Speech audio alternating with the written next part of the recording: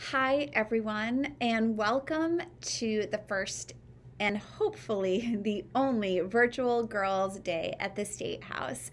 My name is Sara Gideon, and I'm the Speaker of the Maine House of Representatives. Normally, we'd be seeing each other in person at the State House. I'd be looking at all of your smiling faces in your green shirts, and you would be off to an amazing adventure in the hallways and the rooms of the State House and the Cross Building.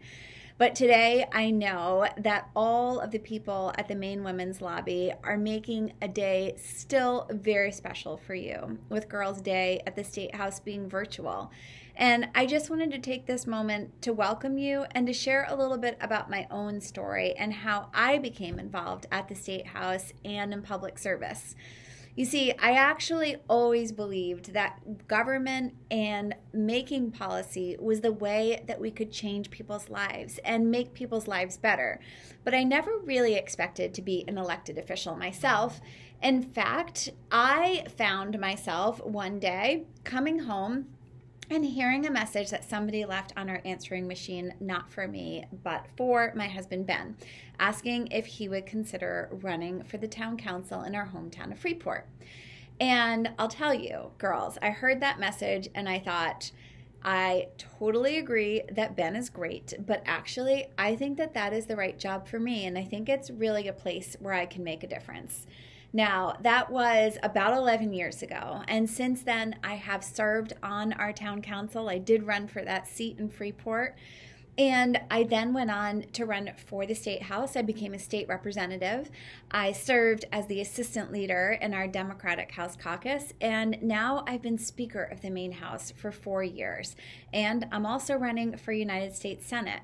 And I share that with you because what I learned was that if, number one, you're willing to listen to the people around you, but two, if you are always willing to put people first and to listen, even to the people that you think you disagree with the most, it's always possible to get things done.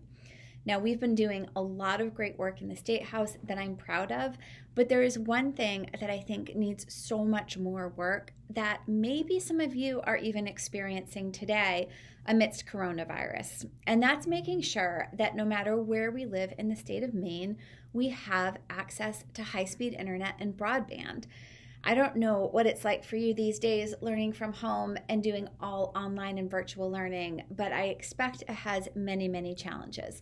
One challenge we don't want any kid in this state to face is that idea that they cannot actually do their studying and homework because they don't have proper access to broadband and internet. So, my challenge for you all today is to think about the things that are going on in your lives, in your friends and family lives, in your communities, and to think about what is the one thing that you want to change and make a difference in, and how can you do it? Because I want you to know that I believe in you and I know that the change in the world that we need is yours to make. So I can't wait to see you in person. I hope you are doing well, staying safe and healthy, and I'm wishing you the very best on this Girls' Day. Take good care. Bye bye.